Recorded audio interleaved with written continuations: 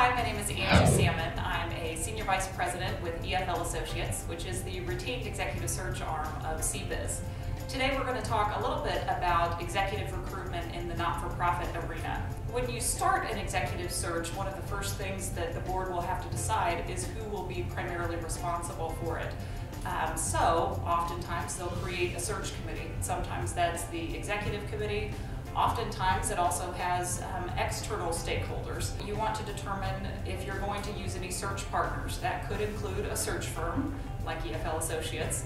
It could also include an internal HR department. What most clients are most interested in is how do you actually generate candidates in, uh, in the CEO position for a not-for-profit? And you do this in a variety of ways.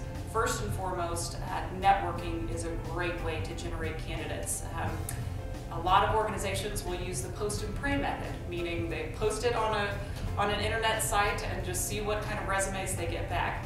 Um, although that is one way to do a search, we of course recommend that you try and find those people that will help lead the organization into the future based on where you want your organization to go.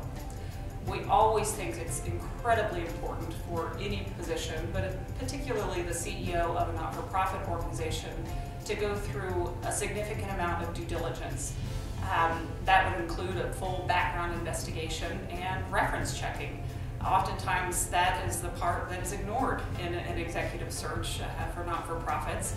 But we like to check both what we call front door references, those that are provided by the candidate, and also the backdoor references, um, those individuals who we know have some familiarity with that candidate, but perhaps was not listed on the reference list for one reason or another.